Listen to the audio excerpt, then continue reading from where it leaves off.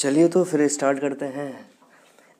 इस चैप्टर के एक्सरसाइज 1.1 का क्वेश्चन नंबर वन से, ठीक है?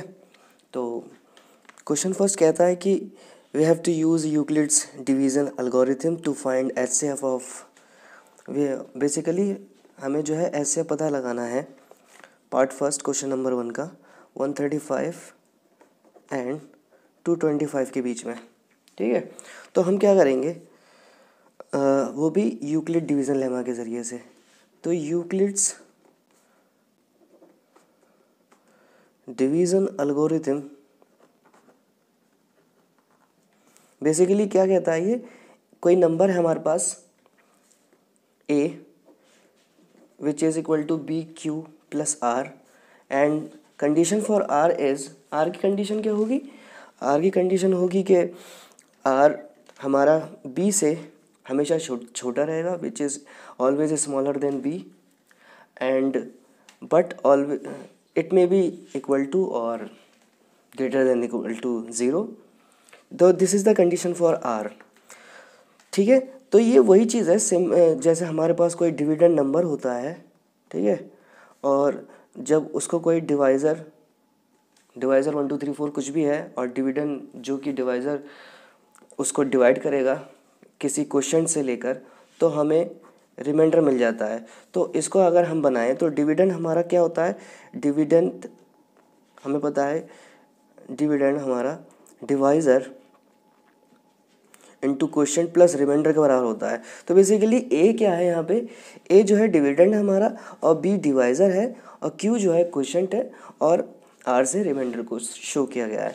तो अब 135 और 225 का एस एफ़ निकालना है यूजिंग यूक्लिड डिवीज़न एल्गोरिथम तो इसमें हम क्या करते हैं, जो 135 और 225 में हमें पता है कि 225 इज़ ग्रेटर देन 135 ठीक है? तो जो बड़ा होता है, उसको हम ए सपोज़ करते हैं। तो यहाँ पे ए हमारा 225 हो जाएगा और बी हमारा 135 हो जाएगा। तो हम पता करते हैं अब using a equal to b q plus r तो हमारा ए टू ट्वेंटी फाइव हो गया equal to one thirty five अब हम इसको किसी ऐसे नंबर से, यानी हमारा कोई क्वेश्चन होगा, ऐसा होना चाहिए कि रिमाइंडर या तो ज़ीरो हो जाए, या उससे छोटा रहे।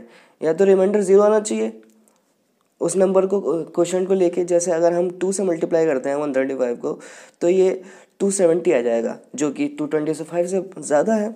तो इस वाले, इसलिए हम क्या करेंगे, जैसे टू ट्वेंटी फाइव है which is dividing by one thirty five तो इसको हम इससे डिवाइड करें तो हमें नाइन्टी मिलेगा।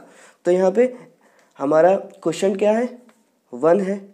और रिमाइंडर कितना बचा हमारा? नाइन्टी अब अगले कंडीशन के अंदर वन नाइन्टी और वन थर्टी फाइव में ए और बी का सपोज़ किया जाएगा। तो यहाँ पे वन थर्टी फाइव बड़ा है। तो इस पहले वाले केस में बी की वैल्यू जो थी, वो अब नेक्स्ट लेवल पे ए की जगह पे आ जाएगा। और जो हमारा रिमाइंडर है, वो हमारा बी की जगह पे आएगा। तो हम क्या करेंगे? हम 135 को अगेन इस डिवाइज़र से, यानी 90 से डिवाइड करेंगे और देखेंगे कि कितने बार में ये आ जाएगा। तो 190 को अगर हम वन के अलावा टू से मल्टीप्लाई करते हैं तो 180 आएगा। ठीक है? तो 180 बहुत ज़्यादा हो गया। तो हम सीधे सीधे 180 कर देंगे। तो हमारा रिमाइंडर जो है 45 बच रहा है। तो यानी वन से अगर मल्टीप्लाई किया जाए तो हमारा 45 बच रहा है। ठीक है?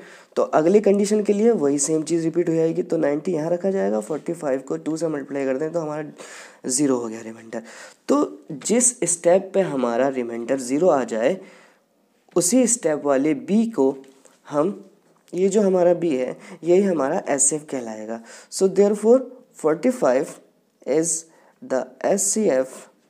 of one thirty five and two twenty five तो वही चीज़ है। तो एस निकालने के दूसरा तरीका भी था। सिंपली हम एस कैसे निकालते हैं? एस हम वन थर्टी फाइव का अलग एल निकालेंगे। ठीक है? इस तरीके से। और इसी तरीके से हम टू ट्वेंटी फाइव का निकालेंगे, जैसे निकालते थे। जैसे फाइव टू ज़ा टेन फाइव थ्री ज़ा फिफ्टीन और ट्वेंटी थ्री यहाँ पर आ गया। और यहाँ पे आ जाएगा हमारा five seven divided three nine से twenty seven three three and three one three और इस तरीके से हम फाइव का निकाल सकते हैं। फाइव फोर ज़ा ट्वेंटी यहाँ पे टू आ गया।